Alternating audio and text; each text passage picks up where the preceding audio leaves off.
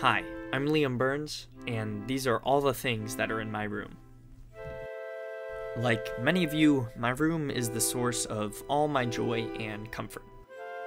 It has my desk, my chair, and even my bed. Sometimes it even has Bilbo.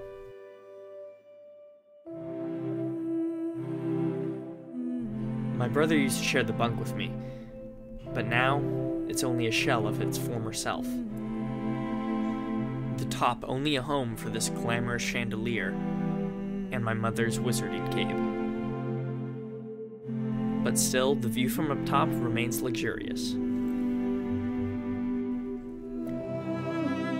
Me and my brother also share desks on opposite sides of the room. You'll notice that mine is much cleaner. But I think what I like most about my room is all the stuff that's inside. Like the globe I used to turn on at night that doesn't seem to work any any anymore. Or the lightsaber that I got that definitely won the that that was a good Christmas present. And who could forget the deodorant, that, which was equally good of a gift? Or my guitar that I really like to pretend to know how to play.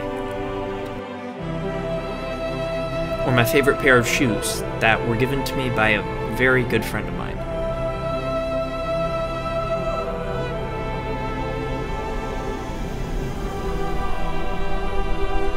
Everywhere you go in my room, you'll be surrounded by creature comforts. And I think there's no better example than in the closet.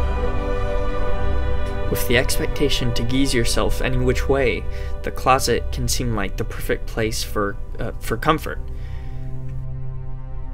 But when you look at it from another perspective, it can feel rather confining. And then you step back and think, maybe this isn't the only part of my room that takes advantage of my comfort and treats me like a prisoner. The room can serve as a mask, if you will, by protecting yourself from the dangers of the outside world. But if you always stayed in your room, when would you ride the waves of the Japanese Sea? Or witness the beauty of an ocean sunset? Or see a, a, a tree?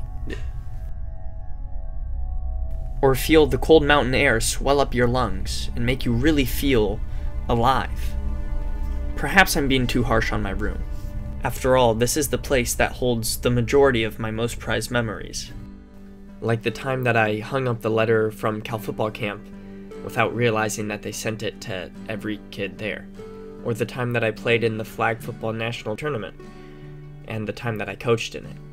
Or that time eight months ago when I graduated from high school, and all the medals that I got along the way, even though some seem to pop up more than others. Or my ripped 2021 sign that I used to celebrate the new year.